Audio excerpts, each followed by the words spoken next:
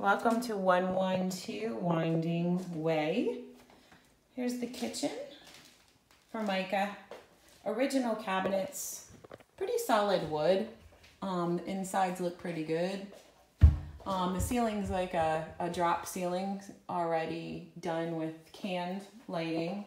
Nice um, blinds in the, the windows but definitely needs a new countertop, backsplash, and you know, flooring's pretty poor, new appliances. In here, this is your hallway to the guest, and this goes into the dining living space. Nice big room, nice light from um, the corner because you're an end unit and then it's got a nice big lanai. Go out to the lanai. Have space for a table. Got nice views of the golf course to the left. Got some big trees in the front that can get trimmed so that you can have a view.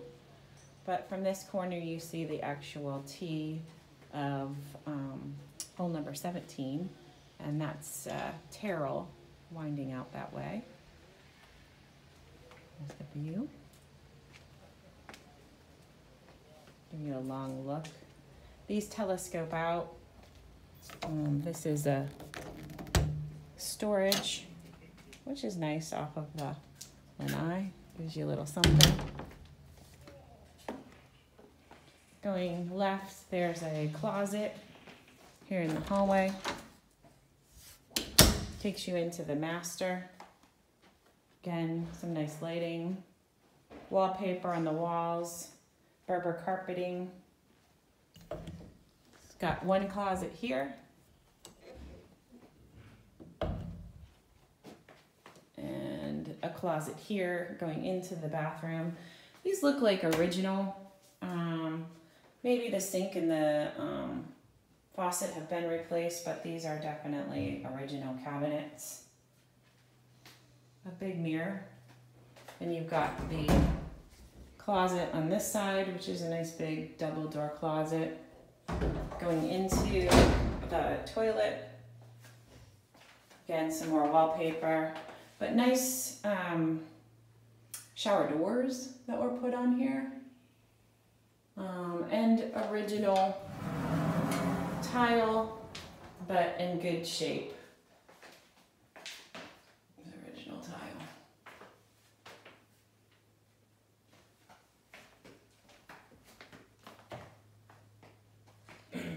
Taking you back. Yeah, taking you back to the guest.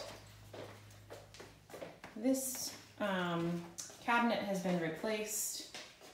So nice little granite on top. It's got some can lighting.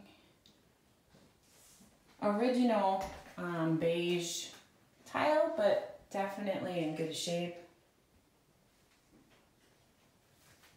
Again, some good window treatments with the blinds. This, more wallpaper, Berber carpeting. Probably clean the carpeting and kind of see what it does. It's, it doesn't seem like it's got a lot of um, issues on it. The kit, the living room does though. Big closet in here.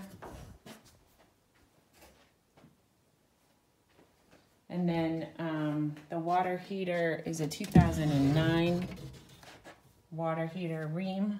So that would probably need to be replaced. This is a Trane, but it's a 2015. There you can see the 2015. And it's been serviced. Last service date was 1129 of 20. So a year ago. And then this comes out into the washer and dryer. Definitely older original cabinets in here for the washer and dryer. But good space overall.